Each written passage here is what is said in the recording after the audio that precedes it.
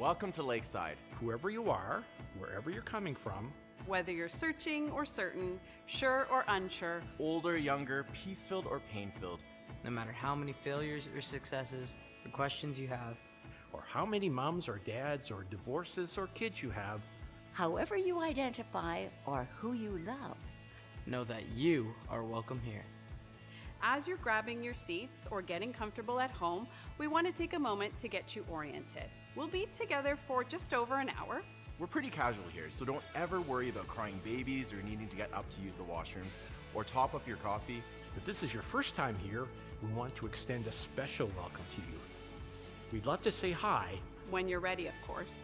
You can text the word new to the number at the bottom of the screen, and a member of our welcome team will reach out to you. If you prefer to connect with someone in person, you can stop by guest services in front of the blue wall after the service. And now it's time to turn things over to our worship leader. Have a great morning. Well, good rainy Sunday morning, everybody. For those of you that braved the weather and joined us, uh, we're so glad that you could be here. And for those that are joining as a part of our online community, we're grateful that you're tuning in this morning with us here. We're going to be here for just a little over an hour. And if you were paying attention to our social media last night, then you will know that today launches um, a new season of worship.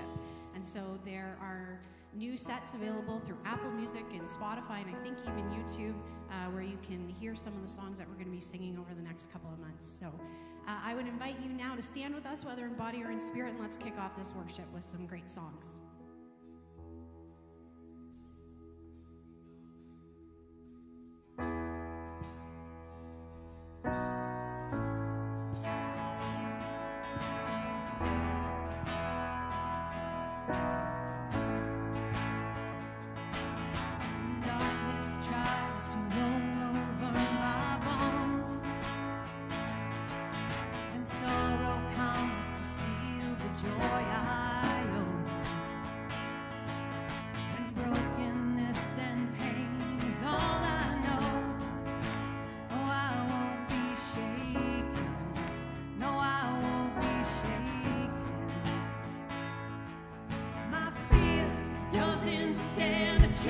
When I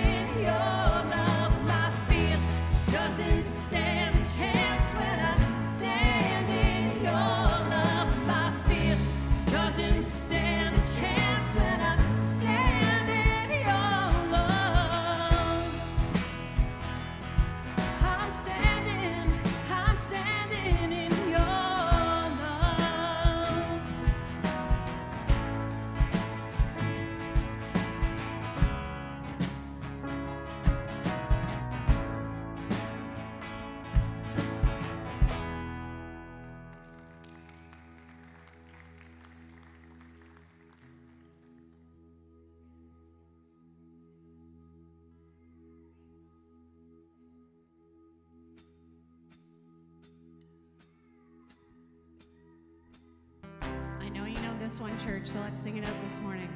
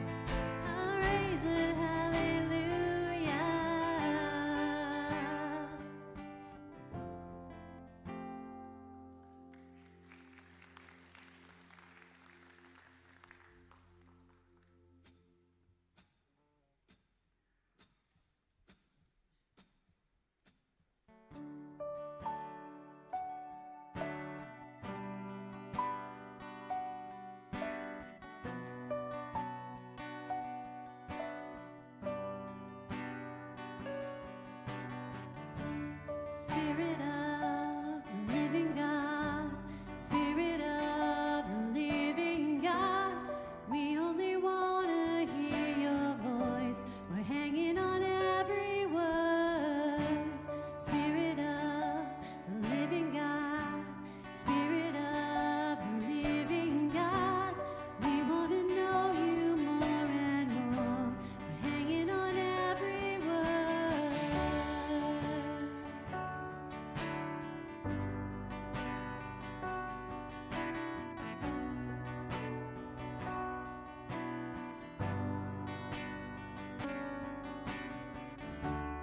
Spirit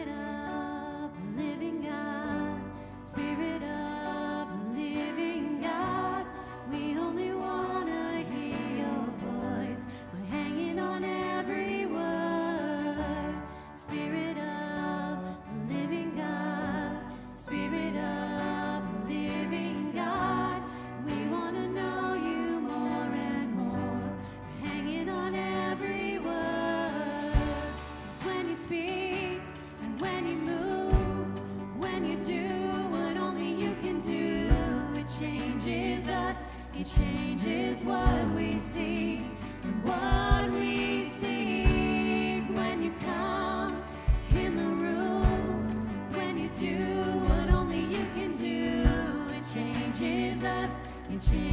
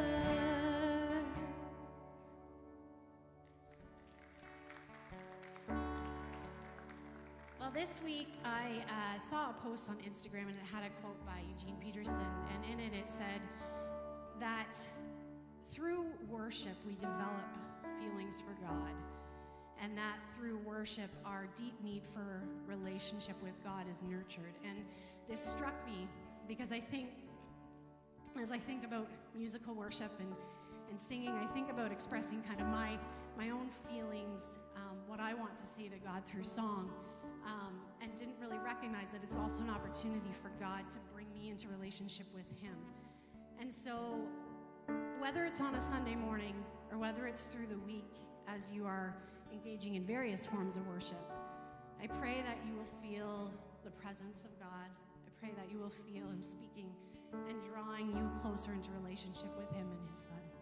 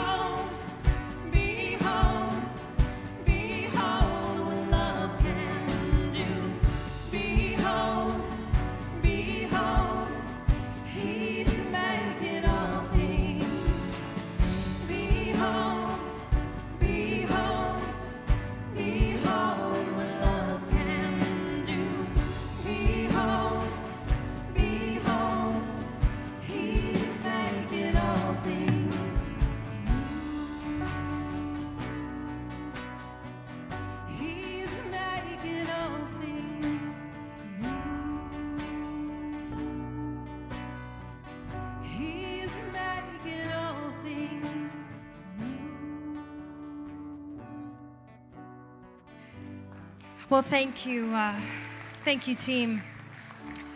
Feel free to have a seat. I love the last line that uh, Barb just sang there. He makes all things new. You know, as we uh, look around us uh, uh, outside, you know, all the new, the new sprouts that are coming up, the leaves are coming back. God is making all things new through nature. But it's not just nature that God is making all things new. He is making all things new within each and every one of us. And that might be hard for us to just kind of digest and understand well, how can He be making things new if, and you fill in the blank, whatever is going on for you? How do I know that Jesus is making all things new? And that's a tough question. We maybe don't always believe it, we maybe don't always feel it. But his promise is that we are redeemed and that he is making a new thing in us and through us. And so I just want to pray for us this morning as a church that we would just be so open to that invitation of being made new. So I just want to thank you for today, Jesus. I thank you that no matter how we feel, you promise us to make all things new. And so I just pray for everyone who is here this morning, whether they are in the room or maybe they are watching online. They might be feeling that Jesus, they don't feel that you can make all things new. They maybe don't feel that for them individually that applies. But I just want to pray over everybody and just be a reminder, even to myself, that yes, you can make all things new. And so we invite you and the Holy Spirit into this room this morning, Jesus, that you would work in ways that we aren't even aware of yet, but you are.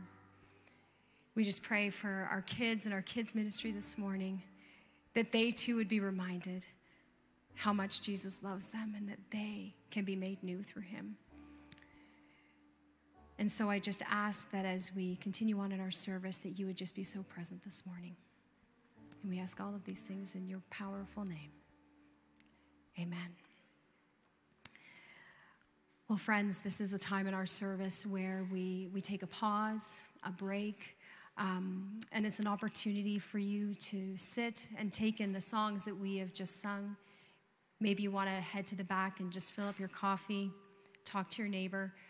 But it's also an opportunity for our kids who are birth to grade five to make their way to program and in about five minutes, there'll be a video on the side screens that'll just prompt you back to your seat, and we'll continue on with our service together this morning.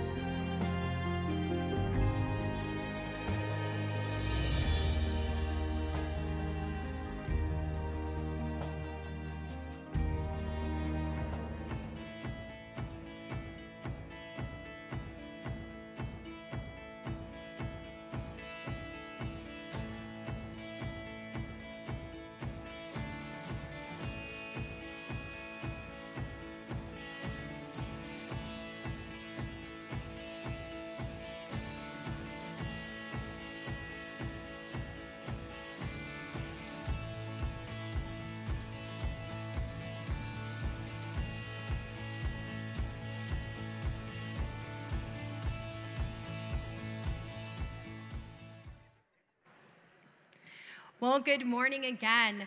I have to be honest, I love hearing the conversations and just the, the community that happens during our coffee break. I love seeing if, you know, people go grab a coffee, they're talking, and then some people just sit and take things in. And so I love that you feel invited to be able to do that. If we have never met, my name is Rachel Guthrie. I'm the worship director here at Lakeside. And uh, we just really want to welcome you here this morning, uh, whether this is what you call your home church, somewhere you come regularly, or maybe you are new. Maybe this is your first Sunday here with us. So, a special welcome to you. Uh, maybe you're checking us out online. We have some great ways in which you can connect with us when you are ready. Uh, you can always pull out your cell phone and text the word new to the number that is on the side screen. Um, and I think it's along the bottom of the screen if you're checking us out online. So feel free to text new, and one of our staff members will reach back out to you and make that further connection. Maybe you're more of a you know face-to-face person. Uh, you'd rather connect that way. We do have an amazing volunteer. I believe Kathleen is there today at guest services, and she can certainly help you out if there's something that you uh, would like to learn more a little bit about Lakeside. You can do that as well. Uh, part of, and uh, Michelle kind of talked about it a little bit at the beginning of worship, so part of what we do um, with our worship uh, each week is we have a set of songs that the worship leader picks, uh, works on with their team, and then we come and invite you into that worship on a Sunday morning. And something I introduced about probably just over a year ago was called Seasons of Worship. And so, what this is, it's about 15 to 20 songs that myself, along with collaboration of our worship leaders, pick songs, listen to songs, you know, what is going to be fitting for our congregation and what is singable. Uh, so we work together and put these seasons together. And so today we are launching our spring season of worship. And what we've done is we've created three different ways for you to listen to that during your week whenever you want to do that. So the first one is Apple Music. Any Apple Music people out there? A few? All right. So you can scan that QR code, that'll take you right to that playlist. We have Spotify. Any Spotify? You okay? Good, good. Ooh, a little stronger than Apple. Okay, good stuff. You can scan that one, and then I have to be biased. I think the YouTube one is my favorite one, although I am not a big YouTube person. Uh, what I love about the YouTube list is not only is it the, the video uh, music of the song, but it has lyrics. So you can, right? Right? So it's kind of like you're watching it at church with the lyrics on the screen. You can also watch it on YouTube with the lyrics on the screen. And so these are three different ways which you can connect with our music. Feel on a Sunday morning that you've heard the song. You can uh, enter into that worship a little bit deeper and encounter with Jesus through that. So please check it out, uh, listen away, and uh, we just love engaging with you every week. Um, another way in which uh, we engage with you actually is through partnership and linking arms financially all of the donations that come into Lakeside help us do what we do each week, uh, whether it's a Sunday morning, kids ministry, youth. Anything that comes through the doors of donation is so appreciated. And we just love partnering with people. So there's three easy ways. If you feel called to do that, we would love to do that with you. You can uh, send us an e-transfer, you can connect with us online, or there is a kiosk at the back of the room for a simple donation. Every dollar helps, and we are just so grateful for those in our community who partner with us every week. So, with that, I'm just going to invite Pastor Mark to come up. He's going to continue on in our kind of mini series of questions you don't ask in church. Have a great week, friends. Morning. How we doing? Great, great, good, good. Uh, Eclipse week. How was that? Yeah, a few of you. Anyone else have the experience where your spouse for months was like, you know, talking about it, you know, trying to figure out which goggles to order online, texting friends like, hey, okay, we're gonna come to your place and this time, and yeah, great. And then, you know, and the whole time you're kind of like, what? Like people are taking time. Why are the kids not in school? And then 24 hours before, all of a sudden you became so amazed by it. You're watching all the documentaries, listening to the podcast, and you wake up that morning, you're like, I'm so glad I'm married to someone who thinks ahead Anyone else have that experience, or was it just me? Just me. All right. Well, Trifina, I'm sorry for all the times I made fun of you for ordering goggles and planning things, and I'm really glad that we had a great time. We actually drove out to our friend's place out in Hamilton. Uh, just got to sit on their back deck and just got to see it. And we had this incredible experience where, if you were out in that area, it was about 30 minutes before the eclipse, the clouds finally cleared, and it just like it just opened up. It was this incredible experience, and I actually heard people like, "Wow, thank God." Then that night, and you know, we kind of, you know, as the as the peasants tried to get through all the gridlock, we just stayed on their deck and waited for all the traffic to, you know, all the commoners as they were trying to get home. We enjoyed some pizza, and then finally we went home. No traffic at all at that point. We had just enjoyed sitting on their deck that whole time. And uh, that night, my wife's texting with a friend who had uh, gone from Toronto to Niagara, and that friend had spent seven hours in a car that day only to get there and not see most of the eclipse because of the clouds. And uh, that person's child, after all those hours and the great disappointment, was just having a huge meltdown. And in that moment, I kind of just thought to myself, sucks to suck, guys. That's, that's terrible. No. But honestly, like, like for a second, I was like, oh, it's interesting, right? Here we are, like, wow, thank God opened the clouds for us. And I'm like, where was God for them? And like, these are people who pray. In fact, like, these are the people. This couple specifically is a couple that came on my first Sunday here. They came and they actually prayed with us for that year leading up to me taking this job. And then they came and prayed over my office. Like, these are people who love to pray. And they were praying that the clouds would open, and they didn't open. And I was kind of like, how does that work, God?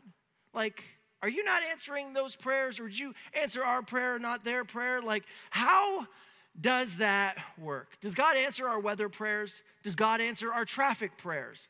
On the surface, I want to believe that God is involved in all the tiniest details, but then when you start to reflect on life and your experience of life, things stop adding up really quickly, don't they? Maybe you felt it, right? You're talking to someone and they're like, you know, oh, it was Boxing Day. It was so crowded, it was backed up. And all of a sudden, like, I was just like, Lord, I need a parking spot. And then this car just left. I don't know why they left the mall open 10 minutes ago, but they just pulled out and I got the best parking spot.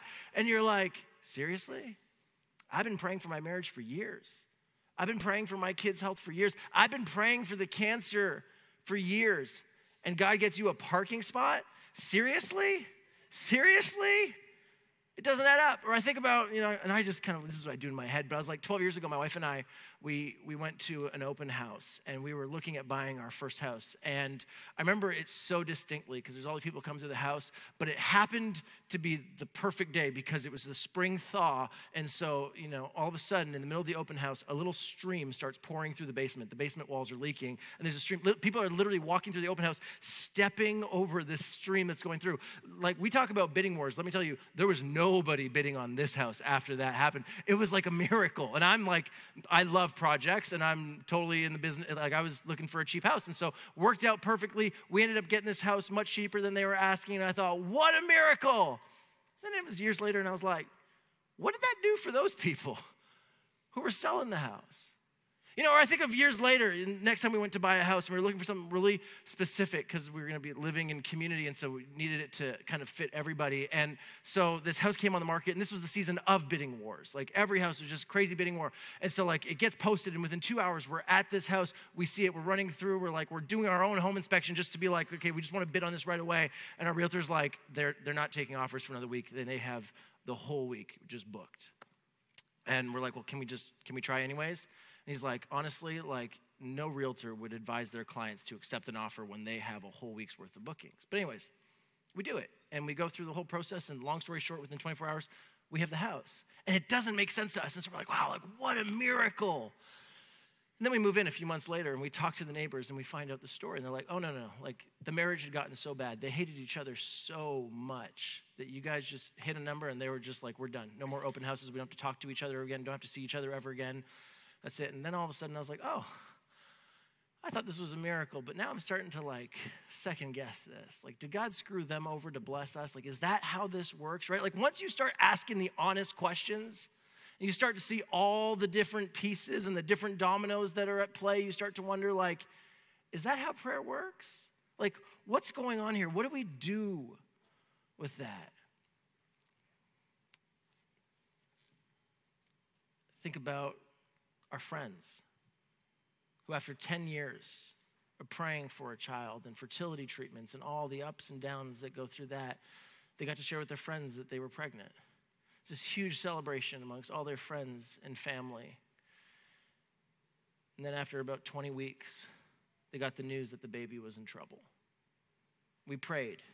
Everyone prayed and prayed and prayed. And yet, within a day, my wife was sitting in a hospital room with them with a baby that had come early, a baby who they held in their hands for five minutes as she took her first and last breaths? Was God the one who got them pregnant? Did God answer that miracle prayer? Did God answer the first half of the prayer? Like, what do, what do you do with that? And then you turn on the TV and you see a football player, you know, pointing to the sky after a touchdown. And maybe like me, you think, seriously? Like, I'm glad God cared about the millionaire in tights running around pushing other, you know, millionaires in tights fighting over a piece of leather. But, like, what about my friends? Like, what do you do with that? Have I told you I can be skeptical at times? If you've ever been skeptical or had some of these questions, today's the perfect day to be here because we're in the series called Questions We Don't Ask in Church. And we're unpacking some of the questions that often maybe haven't felt safe to ask in church, or questions that maybe felt like a betrayal to ask, or questions that maybe left you on the outside of community when you asked them, or questions that maybe you felt the expectation was that you should know the answer to, or you shouldn't care about the answer, you should just have more faith. Maybe you were actually told, don't, don't ask those questions, don't rock the boat. Or maybe you felt like you were the only one who was seeing that the emperor had no clothes on. Or maybe you're not religious at all. Maybe the reason you aren't religious is because of how unsatisfactorily these questions were answered. Maybe you did ask them, maybe you didn't ask them, maybe you just kind of came to the conclusion that to believe in God when you have these questions would just be ridiculous. But these are great questions. They should be talked about. So, last week, in week one of the series, we unpacked this question why is there pain and suffering in the world? And I, I, highly recommend going back. Some of today will kind of build on that. If you didn't hear it, don't worry. Today will stand on its own, but I think it'll be helpful. Heard from a lot of people it was. Uh, and then today, why do prayers seem to go unanswered? Okay, as we jump in today, uh, two quick caveats. I realize this is an incredibly sensitive topic, and for many of you, this isn't a mental exercise. You're walking right now with a child that is suffering. You're dealing with cancer in your family. You just buried someone you never thought you'd bury, right? So I, I realize that. And I, I tell you all the time our response to grief and pain and questions should not be answers, it should be community. It should be sitting with people and wrestling. But also, there is a valuable and important topic that we need to wrestle with. And so today we are wrestling with it. And so if you're watching online or you're on the podcast and you just like, not today, I can't, can't handle this today, go to the next episode. If you're here in the room, I told you last week, feel free to work on your grocery list. If you're just like, I can't, can't mentally engage with this topic right now, totally get it. Um, and it'll be here if ever you want to engage with it. But um, I realize for some of you, this isn't just a mental exercise, it's deeply emotional. Second thing is, um, this is a big topic, and we are literally just scraping the surface. We're not gonna dot every I, we're not gonna cross every T. I told you last week, we're totally comfortable with mystery here. In fact, I think when we try and you know put a neat little bow on everything, we actually do more harm than good. So um, today we're gonna actually accept mystery and the fact that there's probably 10 different threads that you could pull on in this sermon, and that could be another hour long sermon, each of those. So, um, with those said, Today, we're just going to talk about how do we think about unanswered prayer. Again, so much more we can go, but how do we think about it? So, first off, we're going to explore some of the Bible verses that can at times trip us up on this topic.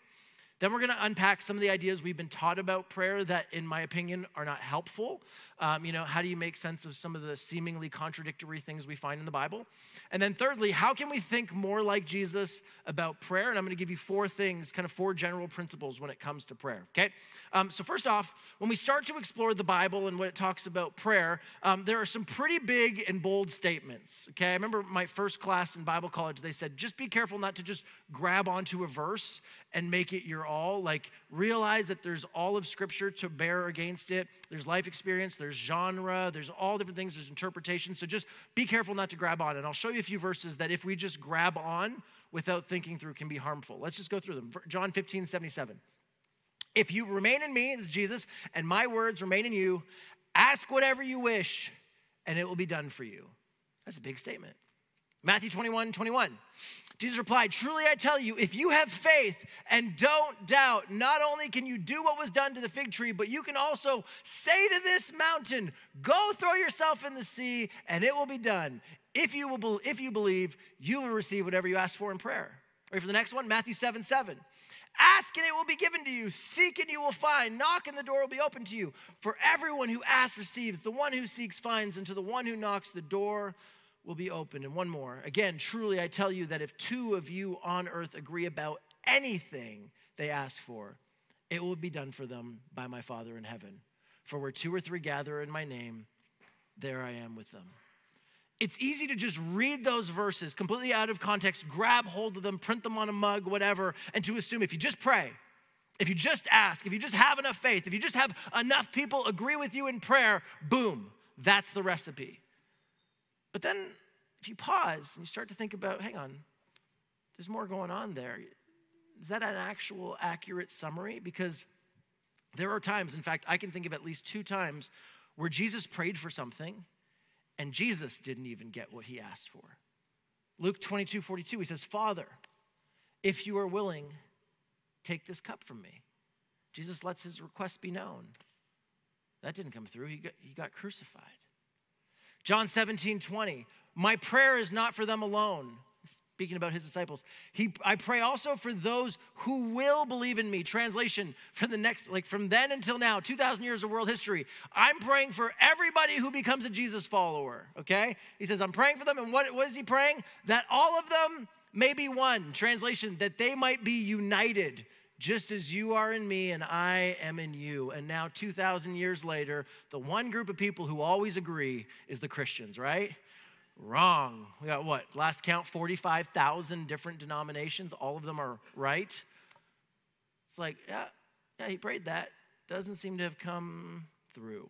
What about Paul? Paul, the guy who's responsible for writing like half the New Testament. I love one author. He's like, if you got a mug with a Bible verse on it, you can thank Paul, right? Like, this guy's a big deal. And yet, in his writings, he speaks of this ailment that he calls this thorn in his flesh. We don't know exactly what it is anxiety, depression. Some scholars think it was an optical issue, but look at what he says in 2 Corinthians 12 8. Three times I pleaded with the Lord to take it away from me. This is Paul, St. Paul. Three times I pleaded with God to take it away from me. But he said to me, My grace is sufficient for you, for my power is made perfect in weakness. Paul prayed for healing and didn't receive healing. How do you square that circle? more and more you start to realize there aren't these neat little bows, and you really got to wrestle with the ideas to try and come up with answers that stand up to scrutiny, that stand up to real life. You really got to dig in. So today we're going to dig in.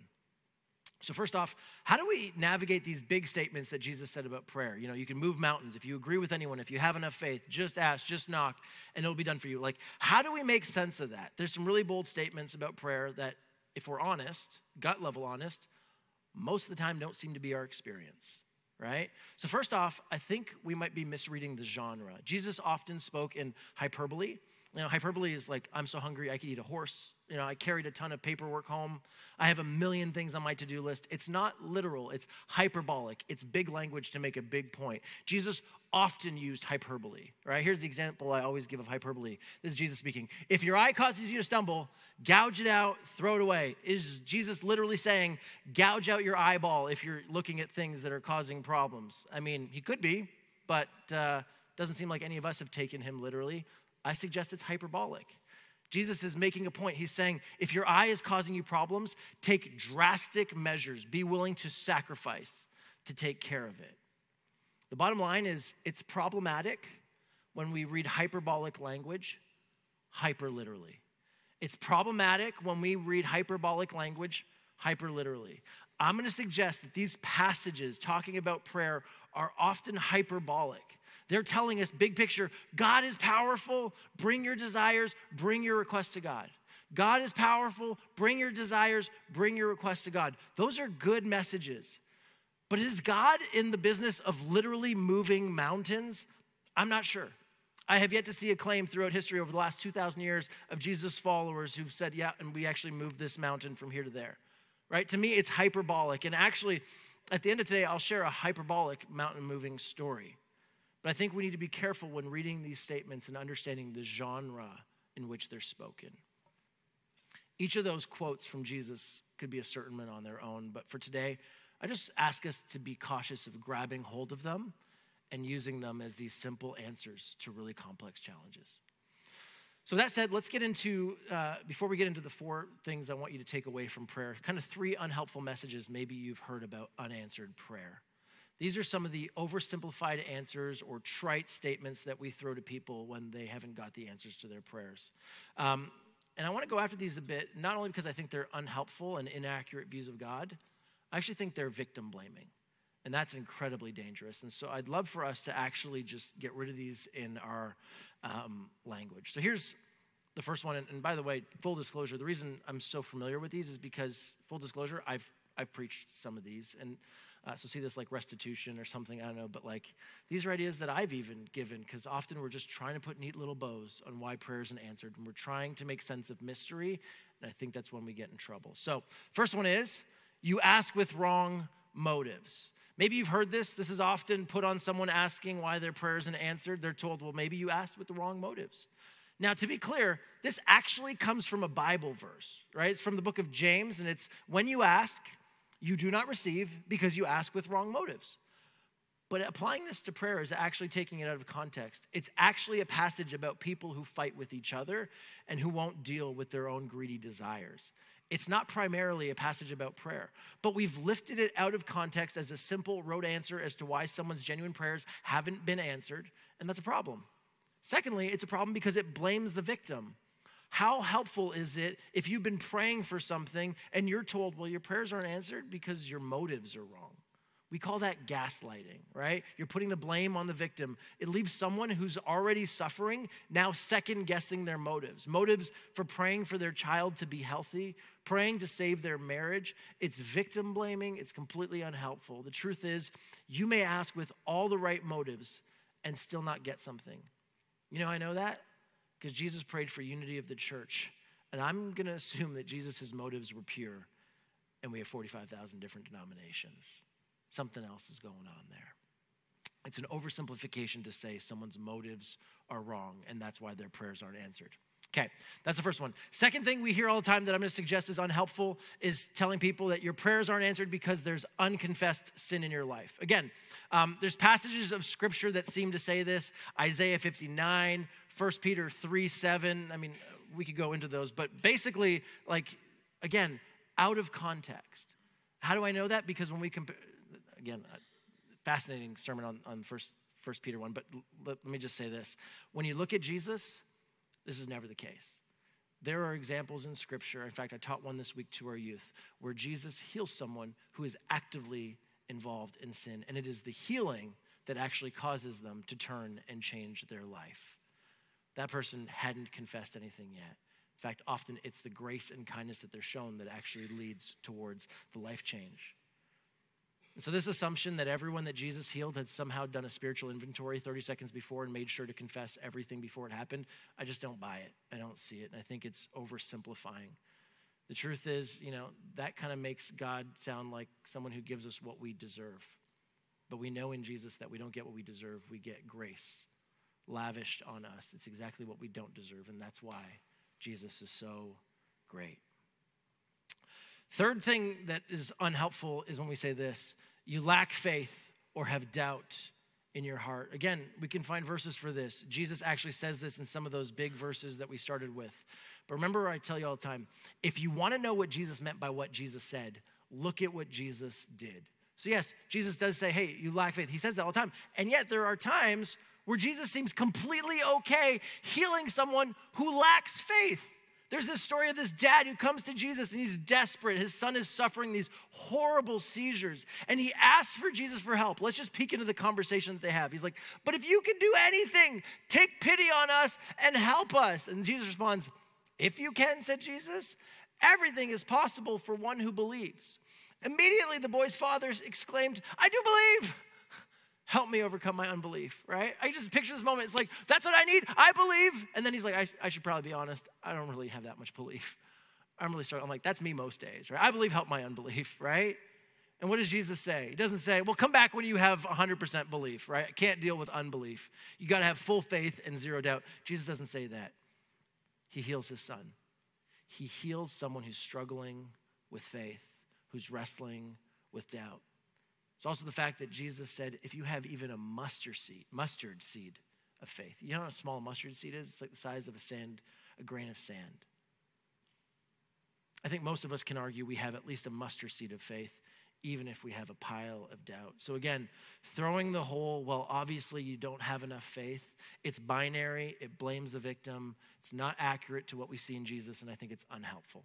So, let's try and stay away from those quick platitudes that often get thrown out when it comes to why prayers aren't answered.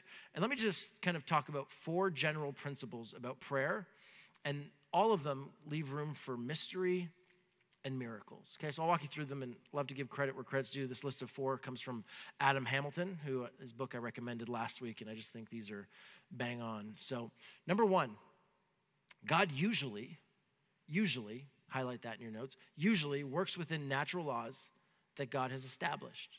Last week we talked about, you know, the world and earthquakes and floods and volcanoes. And if you missed that again, that's where you'll probably want to catch up a little bit. But bottom line summary is it seems as though God, for the most part, allows the natural laws of creation to prevail.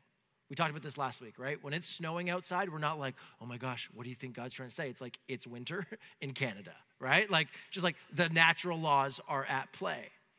Usually, the response to that when I share that with people is, well, hang on a second. Isn't suspending the natural laws of the world what Jesus was always doing? I mean, Jesus calms a storm, Jesus walks on water. Absolutely. That is undeniably suspending the laws of nature, yes. But don't forget, over and over again, Jesus also works within the laws of nature. He doesn't float from location to location, he walks, he takes a boat, he travels on a donkey. At the end of Jesus' life, Jesus is crucified. The whips tear his skin, the nails rip through his wrist. He bleeds, he suffers, he cries out in pain. He doesn't suspend the natural laws in these situations. And that's why the keyword is usually. That's why I say usually. There's some mystery there that I wish I could put a neat bow on it and give you the reasons why or why not. I don't understand that one. There's some mystery there. But for the most part, God isn't in the business of suspending the laws of nature. And then, you know, because I tell you, I'm always having these conversations in my head. Like, I start to think, like, what a mess it would become if we could just be suspending laws of nature with our prayer. You know, we're praying for no rain on our wedding day, but the farmer next door has been praying for rain for her crops to feed her kids. What do you do with that information, right?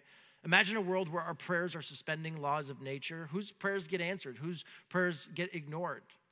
You know, one of our staff shared a, a, funny story with us this week. She's at a, an outdoor concert with tens of thousands of people, and they were, they were running to the car because they could see that a storm was coming. And she's like, I literally closed the door, and then poof, all the rain just came down. And she's like, Thank you, Jesus. And the driver turned back and was like, What about all of them? she's like, I never thought of them. it gets you thinking about the way we use prayer, doesn't it? I remember in high school, you know, whenever my parents asked me, like, did you study for the test? I'd always be like, this is my, my rote response, why study when I can pray? Right? By the way, I'm not teaching that. Don't take notes. Youth, I'm, I'm not saying it was a good thing. I'm just saying that was the approach I used to have. Right? But laws of nature are prepare, you usually do well. Don't prepare, you'll probably fail the test. Don't skip studying and just pray. Why? My opinion is God's not helping you. You know why? Because giving someone answers to questions on a test has a name. We call it cheating. God is not helping you cheat. Bottom line is, God usually works within the natural laws that God has established. Do I believe in miracles? Yes, I really do. And that probably sounds like a contradiction to everything I'm saying. But I also want to be clear that miracles also seem to be the exception, not the rule. Lots of mystery there. I'm just okay and at peace with the mystery. Number two, God usually works through people. Remember last week we talked about how humans are given dominion and free will? I love how one author put it. He said, Most of the time, the way God works in the world is not by sending angels, but by sending people. You look at the life of Jesus and he trains his disciples, he teaches people to care for the marginalized. Jesus doesn't say, hey, when you come across someone suffering, the most Jesus y thing you can do is leave them there and call a prayer meeting so God can intervene. No, he shows us it's actually caring for the hurting and the marginalized. That's our job. That's what he's training us to do. Later, the Apostle Paul, the guy who wrote half the New Testament, writes on multiple occasions to the churches about a collection he's taking to care for the poor. He's not calling for a multi church prayer meeting, to be clear, nothing wrong with that. But I'm just saying the early Christians seemed content to, in a sense, do the things that we are content to simply pray about. They would actually do it. Listen, I'm not saying you shouldn't pray for the home run miracle. Please do. But when I look at the early Jesus followers in the New Testament, they didn't stop at just praying for the things that they were seeing in their world. They practiced what monks would later call ora et labora, which translates work and pray. The idea is it's so easy to make prayer lists and go through them like an online order, right? You know, asking God, help the flood victims and end the war and stop the bad people, and not realizing we're actually invited to be the hands and feet of Jesus. And we have things that we can be a part of and have a responsibility to be a part of. Again, not saying don't pray for a miracle, but also work towards the end. Because by and large, throughout history, Christians have changed the world when they care for the poor and the marginalized and the victimized and the hurting and the broken and the voiceless and the nameless and the hungry. They prayed, and in their prayers, they sensed what they were to do and how to live. They didn't just sit back waiting for the miracle. So, bottom line, God usually works through people. Now, before we go to number three, some of you are probably thinking, ora et labora, prayer and work, that sounds so unspiritual. Or maybe you're thinking that's just an excuse for not trusting in God. If that sounds like a dichotomy, just remember, everybody actually does this. Everyone does prayer and work. The most devout Christians, even the ones who are like, don't take your anxiety meds, just pray about it, they still work and pray. Watch them carefully. Watch them insist that their kids eat their vegetables. I'm, i want to kind of bump them and be like, don't eat your vegetables, just pray. Right? Watch them buckle up their seatbelt. Like, don't do that, just pray. Right? Watch them look both ways before crossing the road. Watch them take their insulin or carry an EpiPen, and then watch them tell you, you don't need anxiety meds, you don't need meds for depression, just pray. Okay. As someone who's suffered debilitating anxiety, I prayed, I took my meds, I met the most gracious, Jesus loving therapist who felt her life calling was to care for broken pastors. And I experienced some of the most incredible friends who understood care can be picking you up, getting you coffee, and sitting in the car with you while you cry. In all of that, I experienced Jesus through the people around me. So remember, God usually works through people, the presence of God working through others around us. So when you pray, Ask how God might be inviting you to partner with God in becoming the answer to your prayers. Number three, God doesn't violate free will. Again, remember, uh, last week we talked about free will and dominion. I talked about my job and how I empower others and kind of give them management over certain areas. And we're given dominion or management over the world. And we're also given free will. Free will to choose if we will choose the way of love or the opposite, the, uh, you know, the way of Jesus or the opposite. But God doesn't brainwash people or force people to choose the right way. I think of the rich young ruler. It's the story of this young man who's really wealthy and he comes to Jesus and he's like, Hey, what must I do to follow you? And Jesus tells him, and he walks away. And the next verse is, So then Jesus changed his mind and brought him back. It's not there. Because Jesus can prompt and invite, but he's not violating our free will. The, this tracks with what we read throughout the New Testament. The descriptors for the Holy Spirit are not brainwash and control, it's prompt, teach, direct, guide. Nothing about power and control. The Holy Spirit is constantly nudging us towards the way of love, but we decide if we will follow that voice or reject it. Now that's disappointing to me. It really messes with the way that I want to pray. You know, like, God, make my wife do it this way, or make my wife realize how awesome I am, or how right I am, or Lord, change her mind on this because we've been arguing for two days. Imagine, right? But God doesn't violate free will. Now, if God doesn't violate free will, I can still actually pray about all those things, but my prayers will look different. It's less of a vending machine, right? Less about controlling and changing them. As long as I put in the right amount of faith, I will get change in that person's life. I'm going to seek the Holy Spirit to guide me in my behavior and my approach. Lord, help me in my conversation with Trifina. Help me to be gracious, to see her perspective. If I disagree, may I do it lovingly and kind and gracious. Can't control them even through prayer, but we can control ourselves. So, bottom line, God doesn't violate free will. Last one God doesn't usually deliver us from suffering, but walks with us through it. Ultimately, as, as Rachel was even saying, God redeems everything. And we even talked about the difference between God causing something versus redeeming it. But for today, God doesn't usually deliver us from suffering, but walks with us through it.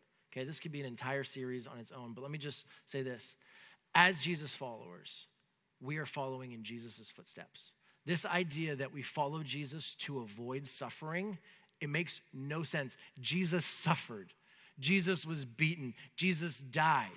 Virtually every one of Jesus' disciples was killed for following Jesus. And that somehow this idea, you know, cons- per- persists that if you follow Jesus, everything's gonna go great. It's your Jesus followers. Jesus suffered, we will suffer. The Jesus followers in the first century did not become Jesus followers because it guaranteed them a pass in a really rough world. In fact, most of them suffered because of their faith. The first century Jesus followers became Jesus followers not for a get out of jail free card, but because they saw someone crucified on a Roman cross, and three days later, they ate breakfast with him on the beach. They saw him rise from the grave. That's why they became Jesus followers, not because there was some sort of promise of not suffering in this life. So here's how I say it Jesus followers are not promised a suffering free life, but a presence filled life. In this life and the one to come, Jesus promises us to never leave us nor forsake us. Now, that's the topic of a whole other message, but bottom line, ending our suffering in this life is not something we're promised. Eternity, absolutely. When the kingdom is fully and finally here, yep, but not now.